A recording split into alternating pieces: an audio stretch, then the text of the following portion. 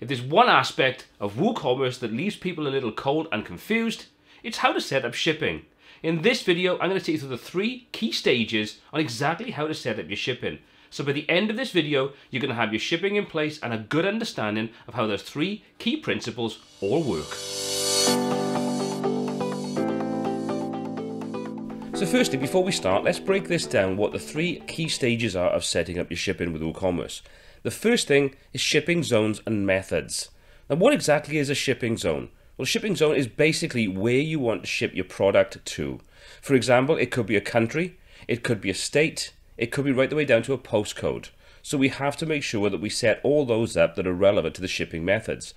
The next thing is, is the shipping rates. So we have three basic kinds of shipping rates we can use with WooCommerce straight out of the box. We've got a flat fee per order, we've got a flat rate per item, and we've got percentage based shipping. We'll cover all three of those methods and take a look at some more advanced ways of working with those as we go through and jump to section 2. And finally, we have stage 3, which is shipping classes. Now, shipping classes allow us to create product specific charges, so we can apply those to a product by product basis. And again, we'll take a look at that in the third stage of this video. So now we've taken a look at what those three methods are, let's take a look at setting up the first part, which is the shipping zones and methods. If you just installed WooCommerce and you log into your dashboard, you should see an add shipping and method zones pop up like you can see at the top of the screen. So you could access the shipping zones directly from here, but if you don't have this message, it's easy to still access that information. All we need to do is come up to WooCommerce on the left hand side, come down to the settings section, once we're in there, you can see we have an option for shipping. So we can click and open up the shipping options. Once we're in there, you can see we can add shipping zones directly into this area. So from here, we could easily go in and start creating our shipping zones. There's one other thing I want to draw your attention to before we start setting that up. Now say, for example, you're in a particular country, you're selling a physical product and you only want to deal with that particular country or a range of countries, we can do that and to access that, we simply come to the general section under the settings of WooCommerce. And you can see if we scroll down, we've got general options, at which point we've got selling locations and shipping locations. So by using these options, we can limit exactly where we can sell and or where we ship to. So let's put that into place. Let's just say, for example, I want to sell to specific countries. You can see I've got sell to all countries, sell to all countries except four, which means I can fine tune in a quicker and easier fashion, or I can sell to specific countries. For this example, let's say sell to specific countries. What we're going to do is we're going to come in there and we're going to start typing in and you can see this will go through and start filtering out exactly where I want to actually allow selling. So you can see we've got select all, select none. So say sell to specific countries. So we're going to use that, we say the UK and we'll also say Ireland. So I've now set that up so I only actually sell to two specific countries. We can now do the same thing with the shipping. So we can come in and say ship to specific countries only ship to all countries you sell to, to all countries, or disable shipping and shipping calculations. Well, we're going to say ship to all countries you sell to. This is a quick and easy way of saying I only want to be able to ship to Ireland and UK, or in your case, whatever countries you may set up in there. Once we've done that, we come down and we just click on Save Changes to apply that. So we've now limited where we can sell and ship to. Next thing we can do is come back over to that shipping tab and we see we've got the shipping zones already set up and waiting for us. So now we just click on add a shipping zone and we can now start setting up the shipping zones. Now you can work with shipping zones in a very broad sense or you can work with them in a very specific sense. And what I mean by that is we can name them anything we want, but when we got the zone regions, if we want to start using this, you can see we can come in and even though we've chosen Ireland and the UK, we can break this down to specific areas inside Ireland or the UK. If we scroll through, you can see we've got quite a few different Irish locations. We've got the UK, we can also limit to specific zip or postcodes. This allows us to really get in and fine tune exactly where we want to sell and how much it's going to cost to any of those locations. Let's keep this quite broad to start off with. Let's just say UK shipping. So we set that up. The regions you want to sell to, we can simply come down, scroll down to there and we say UK. So that's going to set up our first shipping charge because we want to have one charge to ship to the UK and a different charge to ship to Ireland. So once we've done that, we can say save the changes and now we can start adding in our shipping methods. So our first zone is set up. Now we can set up the method. So we say add shipping method. And in there, we've got some options. We've got flat rate, free shipping, or local pickup. Now this depends upon what you want to offer. For us, we're going to be using the flat rate for this example. So we'll choose flat rate and say add shipping method. So once that's done, we've now added the flat rate in there, but we haven't actually applied any fee to that flat rate. So currently it's sitting at zero. So the next thing we need to do is click on flat rate, and then we can come in and we can start editing the costs for that. So the first thing we've got to configure is the method title. So this is just a name that you want to give to this particular shipping method. You can put whatever you want in there, but obviously it makes sense to put something that's applicable to the charge and potentially the location. Next up, we've got the option for, is this a taxable charge? In other words, do you apply tax to your shipping? If you do, you can set it to be taxable. This will then take that shipping method and apply tax to it. If that's not applicable to you, you can simply set that to be none. And then finally, we've got the cost. Now there's a couple of things we can do in here. We don't have to simply put in a simple flat fee. But for now, we're going to do that. I'm going to come back later and revisit this and we'll take a look at how we can use other methods on there, some simple calculations, some formulas to get a little bit more creative on how we set our charges. For now, let's just set this a flat fee of 295 and we'll click on Save Changes. So we've now created our very first shipping zone and our shipping method. So just to commit those changes, let's hit Save Changes to make sure that all our settings are in place and saved before we move on to the next step.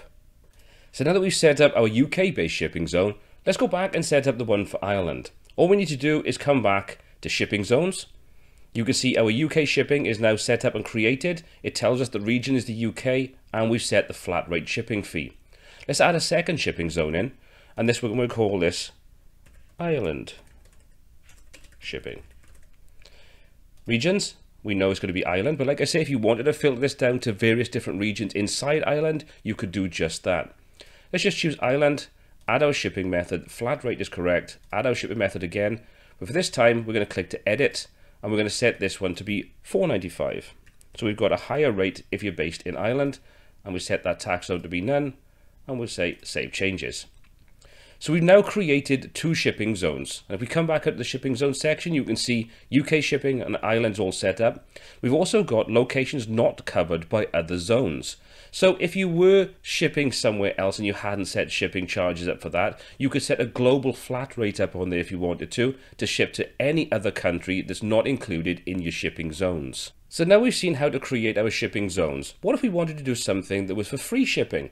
Well, there's various different ways we could do that. Let's take a look at one simple option. Let's add another shipping zone in. And we're going to call this free UK shipping. We're going to limit this to be UK. So again, we'll come down, limit it to the United Kingdom. We could, if we wanted to, again, limit this to postcodes or zip codes. But for now, we'll just leave that to be the whole of the UK.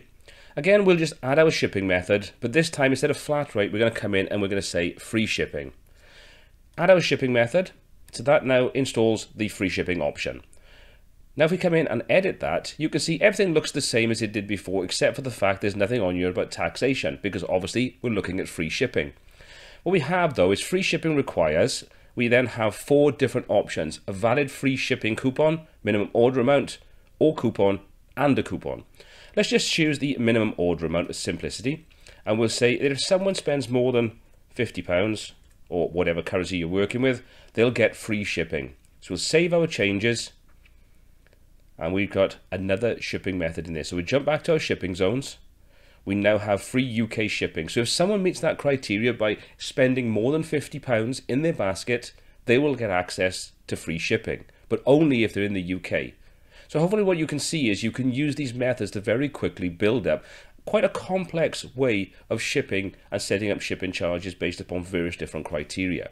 So that's basically stage one. We've created the shipping zones and the shipping methods and applied some basic rates to them. So now that we've gone ahead and seen how to set up the shipping zones and methods, the next thing we need to do is to go through and set up the shipping rates. Now we've seen how to apply free shipping, we've also seen how to set up a flat rate, but we're not limited to just flat rates. Let's take a look at how we can do a little bit more with that with the three different options we have. The flat fee per order, flat fee per item, and a percentage based shipping option. So let's come into our UK shipping, let's edit that, and then let's just open up our flat rate and edit that. Now you can see we set a value of 295 in there, so we know we've got a flat rate. So every time you order something with that flat rate, there's a flat single fee of £2.95 assigned as shipping. That's great if you only have one item to purchase or very small items, but if someone buys 10 of those items, it can start to get a little bit unwieldy and also probably means that your shipping rate is going to be nowhere near enough. So how do we cope with that? Well, we can do a flat rate per item. So this is currently set as a flat fee per order. To do flat fee per item is very, very easy. All we need to do is start using a simple formula inside the shipping setup. So what we do is we use the square brackets and we put QTY for quantity, then close the square brackets, and then we use the multiply symbol. Now what does this do? It says the quantity of items in the shopping basket will be charged at 2.95 per item. So by itself, that's pretty cool, but we're not limited just very simple calculations. We can go a lot further. Now, I'm not going to cover lots of different advanced costs in this. This is just a simple three-step process, but I just want to demonstrate that you're not limited to just applying flat fees or a quantity and a fee per item. We can do things like set a flat fee and then add a per item charge on top of that. To do that, we're simply going to need to remove the current calculation. And if we insert our new calculation, Let's take a look at what's going on there. We're saying 10 plus 2 times quantity. So if your formulas in Excel are kind of something you're used to, then this is going to make a little sense to you. If not, don't worry, it's not as complex as it first looks. What we're effectively saying is that we want to charge a flat rate of £10 plus £2 per item on top of that. So if they only bought one item, it would cost them £12 they bought two items, £14, and so on. So for every additional item they have in their basket, it will charge them an additional £2, or whatever currency you're working with. Now, hopefully, what this demonstrates is that the actual power that you have available to you inside the flat rate shipping is a lot more extensive than you may first think. So, just by using some simple formulas, we can create much more complex based shipping charges. We've seen how to set a flat rate for shipping, we've seen how to set a per item based rate on shipping, and also how to set a per item and a flat rate in combination. So this should give you a lot of functionality. There's a third method as well. We've got percentage based shipping charges. And setting up percentage based charges is pretty much the same as dealing with the costs with a flat fee. What we need to do is remove this and we're going to use this simple example. So what we're saying is the cost of the items is charged an additional 10% for shipping. So if you had an item that cost £100, the shipping would be £10. If it was £200, it would be £20. So it's 10% of the cost of the cart. So this is an easy way of being able to set up a percentage-based shipping. And obviously if you want to combine this with a flat fee on top of that, you could do all those kinds of calculations as well. But hopefully what I've demonstrated is that there's a lot more power under the hood of the flat rate shipping than you might have thought initially. So let's just save this change and let's take a look at this in action, see exactly how it works in your shopping cart. Save our changes, Everything else should now be in place. So we're going to do is jump over to our store and take a look at how this works. So we're into our shop and let's just add an item in. So let's just say we'll take this beanie. So we're going to come down, we'll add that to our cart. Once it's added to the cart, we'll just jump over to and take a look. And you can see there's our beanie at £18. And if we take a look, we've now got a flat rate shipping of £1.80. In other words, 10% of the cost. If we now set that to be 2 and update our cart, we'll now see that we have £3.60 as our flat rate. So again, 10% of the overall total of whatever's in our cart. So it's very easy to use these kinds of shipping methods to build up quite complex shipping options throughout your entire store. Also depending upon where you're shipping to, what country, what state, zip codes, postcodes, all those kinds of good things so you can get very creative and set up shipping charges that should match pretty much all of your requirements. So now we've set up the first two parts. The third and final part is to set up the shipping classes. Now this is something that's pretty much optional. If you don't have any need to set up additional charges on top of your flat rates, then you can basically bypass this stage. However, if you have items that basically don't fit into that pricing structure for sending them out, maybe heavy items and so on, then this is going to give you the ability to quickly and easily add additional options without messing about with setting up multiple different rates. And what exactly are classes? Well, let's just say, for example, you have an item that's very, very big or very heavy and will cost a lot more than your flat rate shipping charge. How would you cope with that? Well, that's where shipping classes come in. We can assign additional charges on top of our standard shipping for specific items. Now to access that, again, we're in the settings section of WooCommerce and we need to go over to shipping classes. Select that, that'll take us through and we can now create our first shipping class. So what we're going to do is say add a shipping class We've got three options. We've got the shipping class name, the slug, and the description. We only need to set two of these if you use shipping classes at all. Now the shipping class name, self-explanatory, what exactly is this shipping class?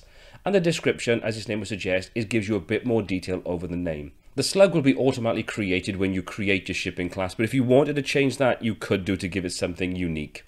So let's just say we're going to give this name of heavy goods. And we're going to say this is heavy items class. So we'll say save our shipping classes. We've created that, and as you can see, the slug is automatically created. And now that we've created our shipping class, we can now configure the details for it. So what we need to do is jump back over to shipping zones. Once we're back over there, we can now go through and set this up for any areas that we want to cover. So let's just start off with the UK shipping. We'll come in and edit that. You can see flat fee, everything looks exactly the same as it did before. All we need to do is click on the flat rate and now we have some additional options. Because we've created shipping classes, we now have additional sections for those shipping classes. So you can see we've got our base cost, which is set up at the top, and this will apply to every single shipping option. All we need to do now is add the extra charge on for this particular shipping class. So we're going to say that heavy goods, anything that fits into that particular shipping class is going to have an additional charge of £10 applied to it. So you can see we can set that up. So that's our heavy goods shipping class. Underneath, we've also got no shipping class costs, which we can apply if we want to, but for this example, it's not relevant. And then finally, we have the calculation type. From here, we can choose per class, which will charge the shipping for each individual shipping class individually, or per order, charge the shipping for the most expensive shipping class. So obviously you need to set whatever is relevant to your particular store setup. We're going to choose this to be the most expensive shipping class, for example, and we'll say save the changes. So we've now created and set up and configured the amount of money that's applied to our new heavyweight shipping class. But how do we use that? How do we assign it to anything? Well, what we need to do is come into the particular product or products that we want to assign this to and apply that shipping class. So let's come back into our products and say all products. We can take a look at everything inside our store. And let's just choose something we're going to say is going to have this applied to it. So we're going to come down and we'll say, we'll keep it really simple. We'll say the beanie with logo. So we can edit that. Once that's loaded up, we scroll down and look under the shipping tab you'll see we have shipping class. Currently, there's no shipping class associated with this particular product, so we'll just use the default cost per item to be shipped. However, if we want this to have a shipping class associated with it, we simply choose from all the options available. We've only got one, which is the heavy goods. We're going to click on that. We now associate that shipping class with it, and we'll say update. Once that's updated, we can then take a look at this product. So let's preview this product and we'll see that in our store. So you can see there's our beanie with the logo. It's £18. So let's just add that to our cart. And let's go to our cart and take a look. So we can now see that our shipping rate is £15.40 because we've had that advanced shipping charge applied to the heaviest item in this particular setup, this particular order. So we've assigned that additional charge on top of our standard charge. I hope that makes sense. It can get a little confusing when you're just looking at figures and things on screen like this. But like I say, what we're doing is we're setting this up that any item that has that more expensive heavyweight class associated with it, it will have an additional charge. So there we go, that's how we configure shipping charges inside WooCommerce. Hopefully this three-stage process has demonstrated it's not as complicated as you may have first thought, but it's also incredibly powerful if you want to go beyond the basics of just some simple flat rate shipping. Now speaking of going beyond the basics, if you'd like to see more about these advanced techniques, check out this video. It's going to go into a lot more detail about how you can start to utilize these advanced techniques to actually work with shipping in WooCommerce. Now speaking of videos, if you'd like to see more and get more out of both WooCommerce and WordPress, check out some of the other great videos in this channel. We'll have some lists at the end of the video so you can check those out. As always, if you'd like to support the channel, please consider using those affiliate links in the description below. Costs you no more money, but does give a small percentage back to the channel and help us create more content for you. As always, my name's been Paul C. This has been WP Tuts, and until next time, take care.